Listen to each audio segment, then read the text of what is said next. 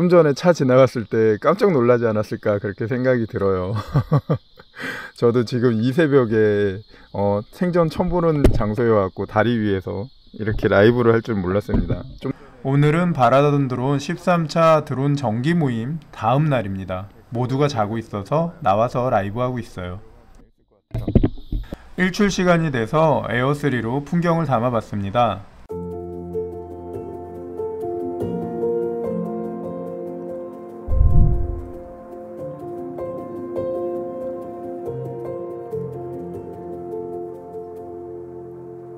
안개가 자욱하게 껴서 안개 위로 드론을 올리면 멋진 풍경을 볼 수 있겠다 생각이 들었어요. 드론이 있다면 안 좋은 날은 없습니다. 에어3가 있다면 cruise control을 사용해 부드러운 영상을 만들어 보세요. 에어3가 있다면 70mm 카메라를 통해서 보다 역동적인 영상을 만들어 보세요. 남들이 보지 못하는 걸 볼 수 있는 드론은 참 좋은 취미입니다.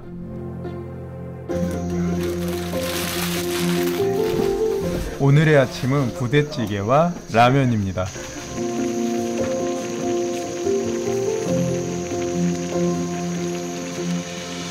다 같이 아침 식사를 끝내고 다음 관광지로 가서 촬영하고 돌아가기로 했습니다. 남자들 잘하는 거 있죠? 가위바위보로 설거지 몰아주기. 저는 안 걸려서 강가에서 비행을 한 번 했습니다. 하지만 이 비행은 하지 말았어야 했어요. 이때 추락을 하게 됩니다.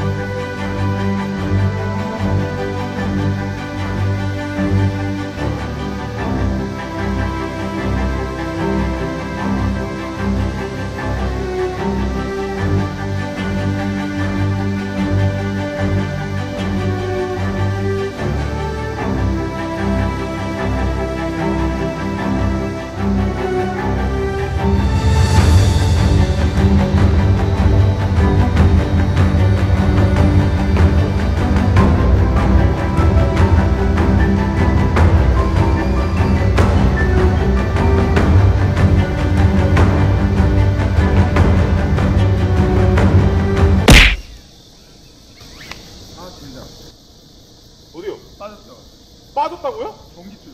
저 전기줄. 어디 어디 어디 빠졌어요? 전기줄. 추락 직후 고글을 벗어서 바로 봤는데 물의 파장이 살짝 보였어요. 저기 전기줄에 닿고 떨어졌어. 이게 물이 맑아서 찾을 수 있을 것 같아요. 보통 주변을 잘 보고 비행을 하는데 이때는 왜 그랬는지 전기줄을 아예 못 봤습니다.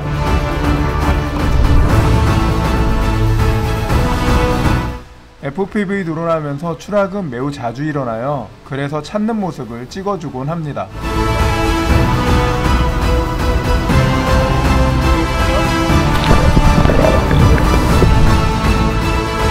이때 숙소에서 제가 추락한 걸 보고 드론을 날려고 확인하러 왔어요. 그런데 전기줄이 바로 위에 있는데 못 보고 있더라고요. 내려!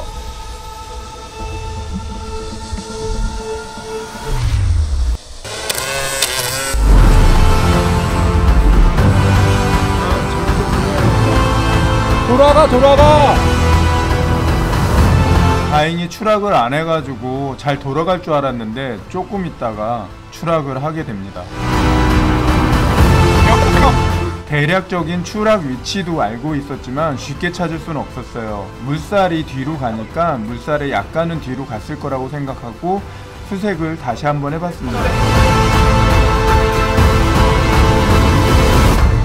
찾았다 찾았다 내 거 찾았어. 내 거.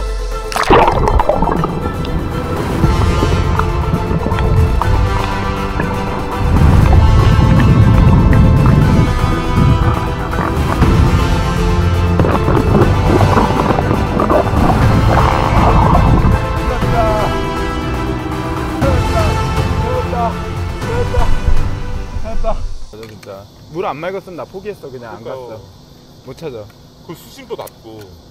어, 저 안에 깊었어. 아 그래요? 저 안에 깊어서 허리까지 갔어. 찾아서 다행이지만 진짜 좀 위험하긴 했습니다. 물속이 안 보였으면 말한 것처럼 포기하려고 했어요.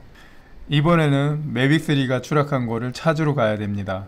드론을 이용해서 위치를 찾으려고 합니다.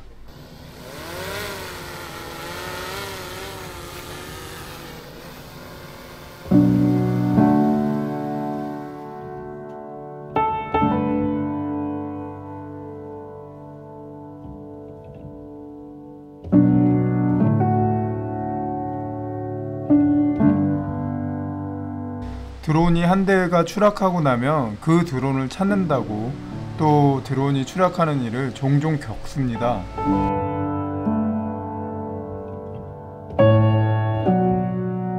자기가 쓰는 드론이 어떤 종류인지 보시고 센서 드론이라면 좀 멀리서 찾아주시는 게 좋을 것 같아요. 미니 3 프로 같은 경우는 4K가 아니라 1080 필요하면 4배까지 확대가 가능합니다. 혹시 찾으셨나요? 저는 찾았습니다.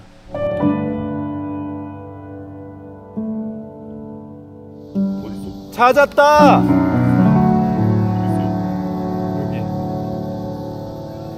내 드론 아래! 내 드론 아래! 이거예요? 응. 이건 안 보이지.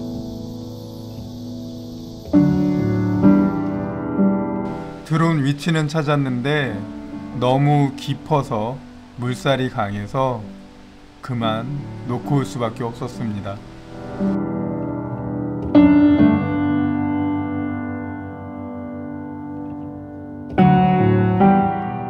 아바타 센서에는 스키가 차 있었고 여기저기 성해 보이는 데는 없는 제 Avata입니다. 그래서 비행이 안 된다면은 Care Refresh를 보낼 마음으로 당연히 안 될 거라고 생각하고 전원을 켰는데 켜지는 거예요. 그래서 이륙까지 해봤는데 이륙도 되고 이 다음날 비행을 했는데 비행하는데 문제가 없었습니다. 정말로 아바타는 어, 좀비인 것 같아요.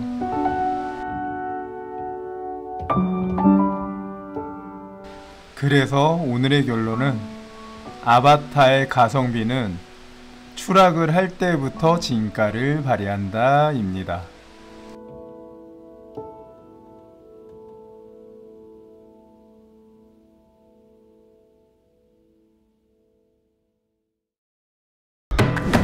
이거는 이거가 4K 60프레임에 이거는 라스베리 없어요. 지금 시간은 6시 50분이고요.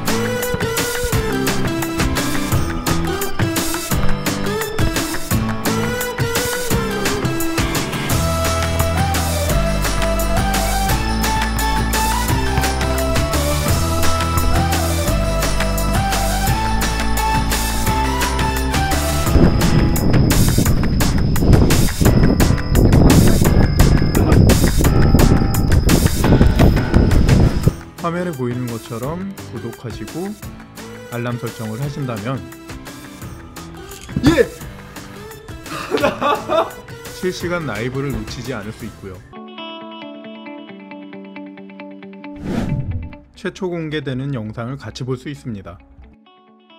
그리고 어디서 뭘 하는지를 알 수 있습니다. 오늘도 시청해주셔서 감사합니다.